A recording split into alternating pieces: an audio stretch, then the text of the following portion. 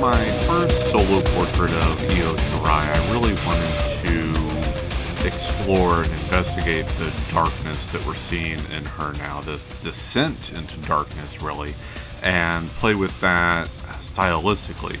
And so, what I'm doing here is something that was inspired by a few weeks ago. I went to an exhibit of the works of Ralph Steadman and got to look at them up close and, and really see how he worked. And I am bringing some of that now, especially into this piece.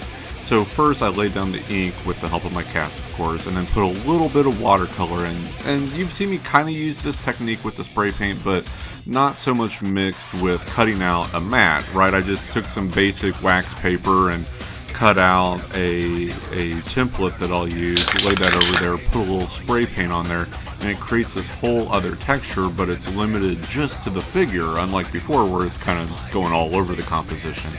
And then with that down, I'm bringing in this op art background that uh, plays a little bit more into that descent into madness. Uh, when I get all the black filled in, you'll see it's almost kind of a vertigo effect, uh, an optical illusion that is going around her.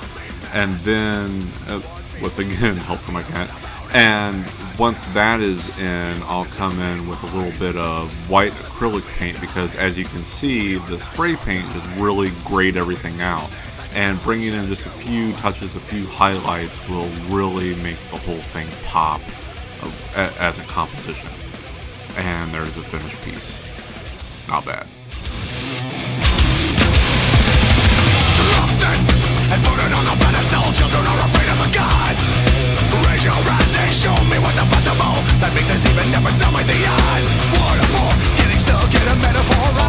Wednesday, the SmackDown moving truck came through and made a stop at Fox 4 in Kansas City and they told me this would be a great way for me to load up and move my art and everything would be really safe and uh, well handled that way.